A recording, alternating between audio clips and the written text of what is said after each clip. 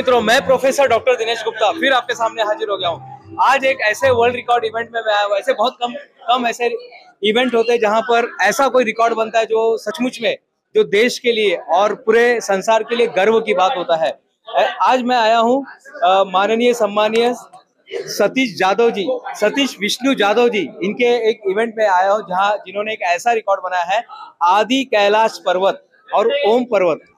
आदि कैलाश पर्वत और ओम पर्वत पे साइकिल लेकर जाने वाले सोलो, यानी अकेले साइकिल लेकर जाने वाले वो एक में विश्व के एक में ऐसे व्यक्ति है जो जिन्होंने इस 300 किलोमीटर का जो इनका यात्रा था, उस यात्रा को उन्होंने अकेले पूरी की। आप देख रहे हैं मेरे पीछे, जिनको आज यहाँ पर सम्मानित किया जा रहा है, और जो इनके, आप देखेंगे आजू बाजू के जो इनके परिवार के लोग हैं, इनके मित्र मंडल, सभी लोग यहाँ पर आके उन्हें आज बधाइयाँ दे रहे हैं।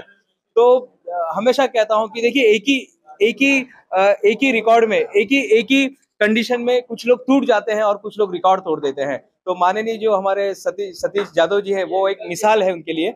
जो लोग बोलते हैं ना, हम तो सर, हमारे पास कुछ है नहीं करने के लिए, हमारे पास तो कुछ भी नहीं है, कहा कुछ भी नहीं है।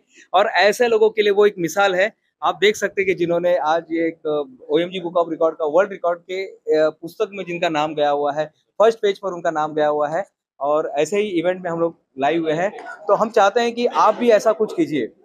या तो कुछ ऐसा करो कि लिखा जा सके, या तो कुछ ऐसा लिखो कि पढ़ा जा सके। मैं प्रोफेसर डॉक्टर दिनेश गुप्ता, फिर मिलूँगा आपको नई वीडियो में। तब तक के लिए धन्यवाद।